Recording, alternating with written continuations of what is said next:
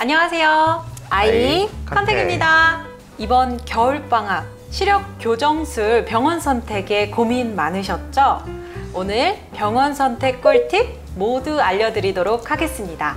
원장님, 병원 선택 전에 어떤 것을 살펴보면 좋을까요? 어, 어렵죠. 일반인들로서 어려운데 어, 첫 번째는 수술 장비예요. 스마일 라식 장비로 예를 들면 저희는 VisuMax라는 장비를 쓰는데 그래도 최신 장비면 좋겠죠. 뭐 2021년도인지 뭐 2010년, 14년도인지 이런 것들을 그래도 대략적으로나마 최신 장비, 뭐 좋은 장비, 유명한 장비를 쓰는지를 보는 것이 중요하다고 하겠습니다.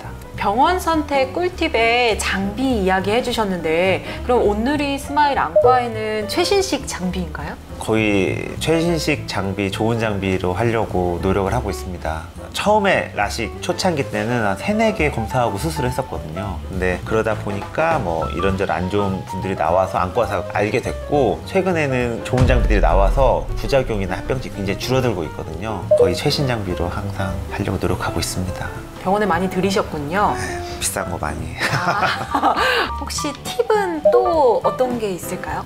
장비 회사에서 장비를 만들고 이렇게 수술을 한다라고 하는 전반적인 프로세스는 안과의사한테 알려주고 안과의사들끼리 그거를 사용하면서 발전을 시켜 나가는 건데 홈페이지 같은 데 보면 뭐 어떤 안과에서는 뭐 무슨 스마일 라식 어떤 무슨 스마일 라식 이렇게 돼 있습니다. 물론 의학적 지식이 어, 많지 않은 상태에서 그것만 보고 알 수 있는 거는 한계가 있지만 그것을 뒷받침할 수 있는 뭔가가 있는지를 보면 좀 더 좋을 것 같아요. 예를 들면은 논문이라든지 아니면 뭐 case report라든지 뭐 이런 것들이 좀 많을수록 아무래도 좀 믿음이 좀 더 갈 수는 있겠죠. 어, Eye Contact입니다. 저 궁금한 게 있는데요. 그 논문 보면 사람들, 저자들 이래 이름이 앞에 쫙 나열이 되어 있는데 요게 나눠서 쓰는 건가요? 아니면은 앞에 쓰여져 있는 이름이 더 많이 쓴 건가요?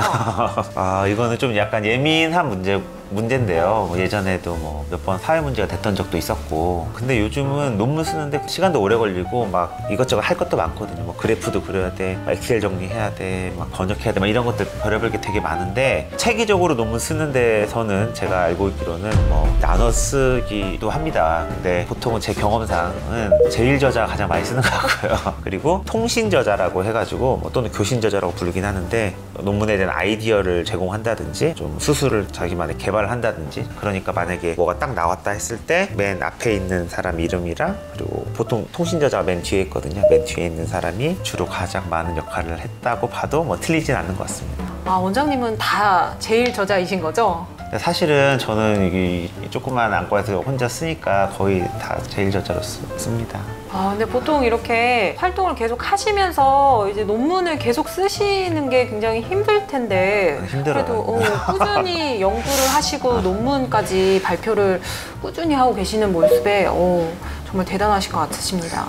Eye Contact입니다. 그럼 마지막 질문 드리도록 할게요. 스마일 라식, 라식, 라섹을 하러 갔다가 렌즈 삽입술밖에 안 된다고 얘기를 듣는 경우가 많은데 이런 경우에는 병원 선택의 꿀팁이 있을까요? 그런 얘기를 들으면은 보통 환자분들이나 보호자분들이 렌즈 삽입술을 하지 뭐 이렇게 바로 거기서 결정해서 하시는 분들도 있고 아니면은 다른 데 가고 막 이렇게 하기도 하는데 저 같으면 그래도 한번 다른 second opinion을 받아보는 게 좋지 않을까 싶습니다. 어, 저희 병원 같은 경우는 난시가 너무 높아가지고 라식 라섹이 안 되는 경우에 난시 교정술이라고 하는 수술이 있어가지고 그걸로 전처치하고 2차 수술로 스마일을 한다든지 아니면은 렌즈 삽입술도 toric 렌즈라고 하는 렌즈를 반드시 써야 된다라고 하는 경우들도 있지만 제가 아까 말씀드린 난시 교정술을 하면서 어, 일반 렌즈 넣어가지고 하는 수술법도 있기 때문에 렌즈 삽입술에 특화된 기술이 있는 안과를 좀 찾아보시는 것도 좋은 방법일 것 같습니다.